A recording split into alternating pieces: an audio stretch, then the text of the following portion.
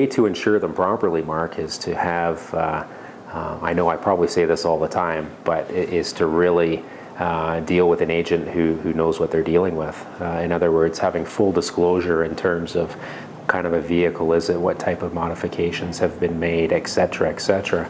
And the best thing you can do is get yourself into a program that companies developed like Intact or, or there's others uh, where you belong to a car club. It's a, it's a certain type of a, of a car, meaning it's a classic or something like this. It's been appraised so that in the event that something does happen to that vehicle, we are paying you what you're expected in terms of that claim.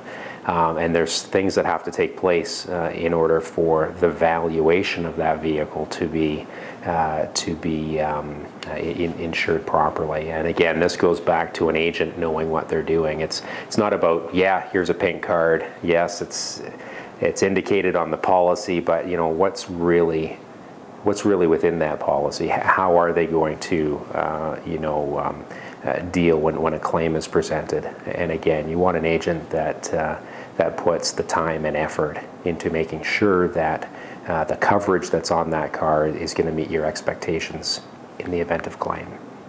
Not that it's a special company or it's just that the risk is viewed uh, differently and they put certain parameters or limits on, on the policy knowing that you know what it's not a daily commuter it's not driven all year round winter etc it's pulled out on sunday right to, to go down to wherever wherever the, the car show is or the meet or or just for a, a little drive they understand. So they they uh, they gear the, the premiums towards that type of risk.